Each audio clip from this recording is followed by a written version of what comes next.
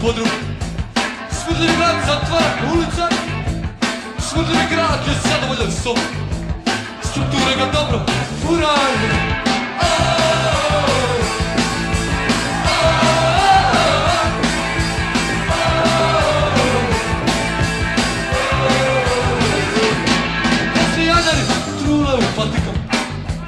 Budajca prašuju cestu.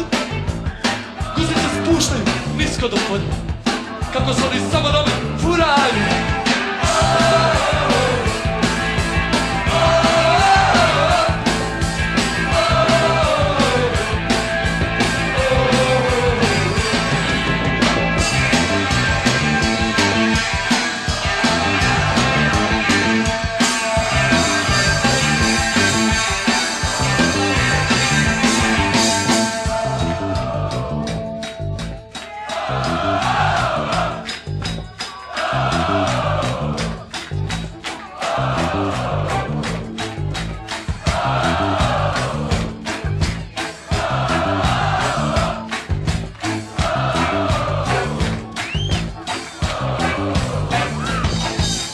možemo pozvati riječane i sve ovaj, dobronamjerne građane da potpišu vašu peticiju.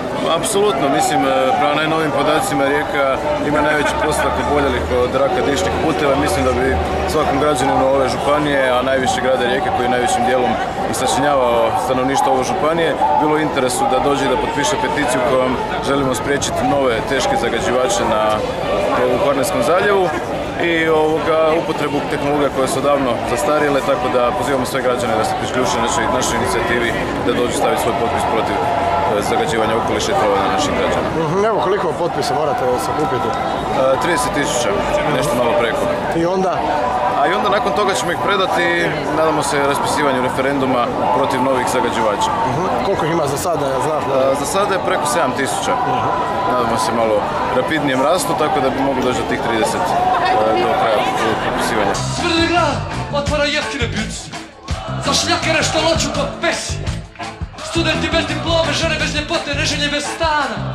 Putnici bez para Pa mi smo danas pokrenuli jedno od najčišćih industrijskih postrojenja u Rijeci sigurno, a ja mislim i šire, zove se tvornica potpisa. Zašto smo to pokrenuli?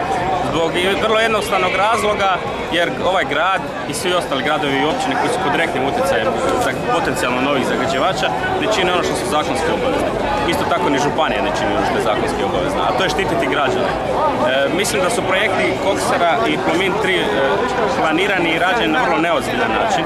Javnost je jako slabo informirana o tome. E, Evo ovom akcijom smo došli do činjenice da više od 95% ljudi prvi put čuje i za Koksaru i za Plomin 3, što je po meni skandal. Užas je naša